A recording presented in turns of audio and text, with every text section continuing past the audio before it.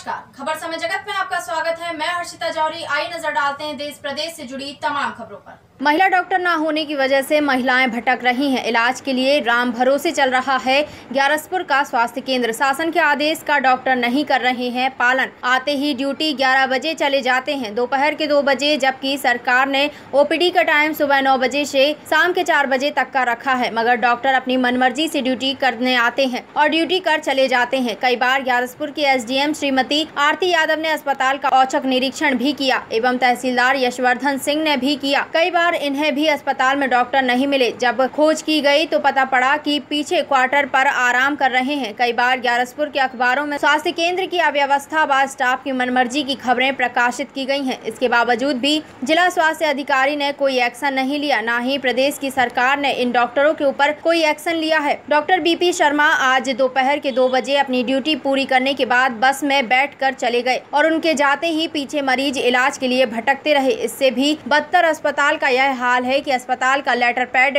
ढाई साल से नहीं है, जिसमें मरीजों के पर्चे बनाए जाते हैं। प्रचार वाले पंपलेट पर मरीजों के पर्चे बनाए जा रहे हैं। शौचालय गंदगी से सनी हुई है। बिजली के बोर्ड उखड़े हुए हैं। स्वास्थ्य विभाग की माली हालत बहुत खराब चल रही है। एक पोस्टमार्टम रूम पूरी तरह से क्षतिग्रस्त हो चुका है। कई बार लाश को कुत्ते भी खा जाते हैं। नई बिल्डिंग जो बन रही है, कई महीनों से आधी अधूरी पड़ी हुई है।